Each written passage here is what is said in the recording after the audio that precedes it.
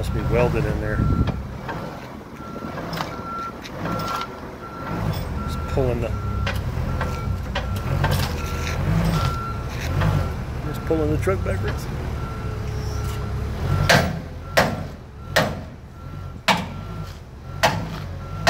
Hey! Okay.